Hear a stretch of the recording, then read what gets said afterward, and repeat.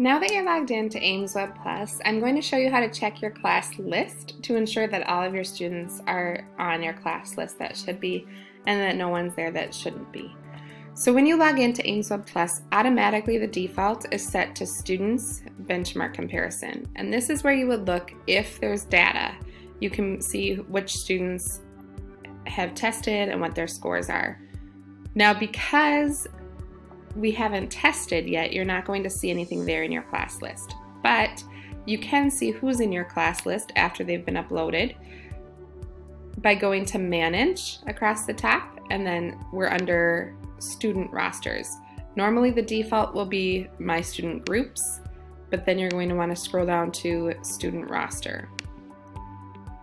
From there, you'll type it or you'll select School System, the school district should be only one option there. The school level, elementary, and then the school is where you'll just have one option, whichever school you're in.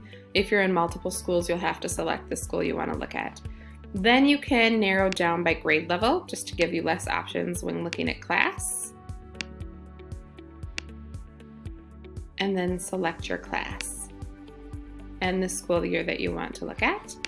Then it will show you your class roster and all of the students in your class. This is how you would see your class roster.